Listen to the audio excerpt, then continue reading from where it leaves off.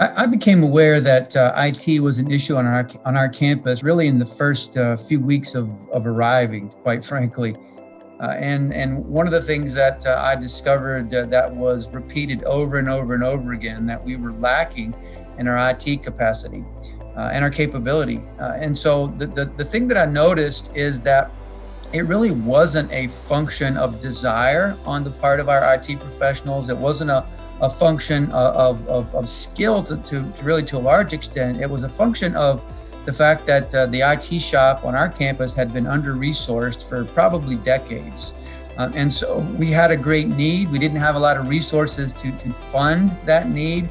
And so I started looking out for, you know, what, what's what's plan B. But I found that uh, uh Dynamic Campus was the really the only place, only partner that we could find that knew our type of campus, knew our, our people, and knew our processes, and were able to just jump right in. And so I've been very thankful that uh, I consider it that, that the Lord sent uh, Dynamic Campus to our to our campus. So from the very beginning, uh, Dynamic Campus leadership uh, really got right down to the heart of our challenges and the heart of our needs. And so we asked Dynamic Campus to come in. We had a you know project contract with them, and so they came in and as I knew what happened, they demonstrated to our faculty and staff across the board that they had the passion, the energy, the expertise, the reach back uh, that we could never have afforded um, and so I was very grateful that that happened. And after that project, I went around and said, Hey, so what do you think of Dynamic Campus?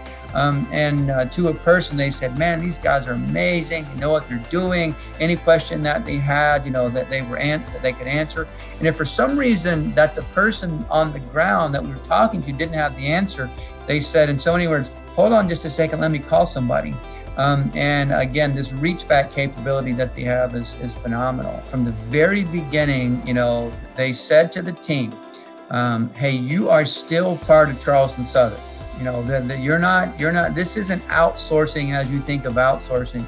Your, your paycheck is going to come from a different place, but you're still going to wear CSU gear.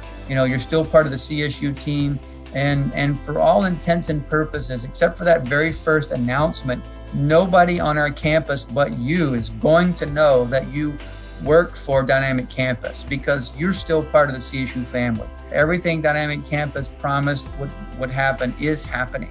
And I use the, the, the present tense is because we're not there yet. You know, we, we had a we have a pretty steep hill to climb. We understand that information technology is this incredible force multiplier that can be leveraged, uh, you know, to to advance the ball in every area of the campus. I would say to brand new presidents or even older presidents, uh, you know, um, unless you have an absolutely perfect information technology shop, um, a conversation with Dynamic Campus. Um, is going to help you.